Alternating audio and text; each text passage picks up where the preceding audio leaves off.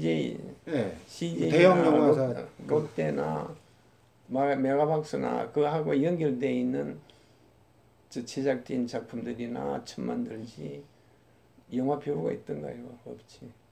다 보면은 뭐 복수하고 칼로 찌르고 다 하고 끝나버리니까 컴퓨터 그래픽으로 만드는 작품 중에는 최고 작품이나 아바타라고 보거든. 아바타. 어. 예. 제임스 카메론이 만든 그. 아바타.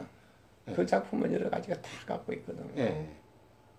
컴퓨터 그래픽으로 최고의 예. 기술을 발휘했고 예. 휴머니즘이 있고 자연 자연주의가 있고 예.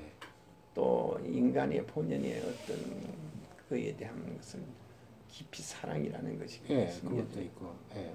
근데 지금 없잖아요. 아 그런 영화들이 없잖아요. 우리나라 영화. 우리 한거 없잖아요. 그리고 보면 영화 배우에 우리가 영화 찍을 때는 영화 주인공 한 사람이 그 작품을 다 끌고 갔잖아요. 요즘은 아. 요즘은 네 명 다섯 명이 와 나가서 예. 그렇죠. 기계를 재생시키는 게 아니라 영화를 좀 재생시켰으면 하는 그런 마음. 사람이 만드는 영화? 응? 사람이 만드는 영화. 사람이 만든 영화지. 영화 영화인이 만드는 영화.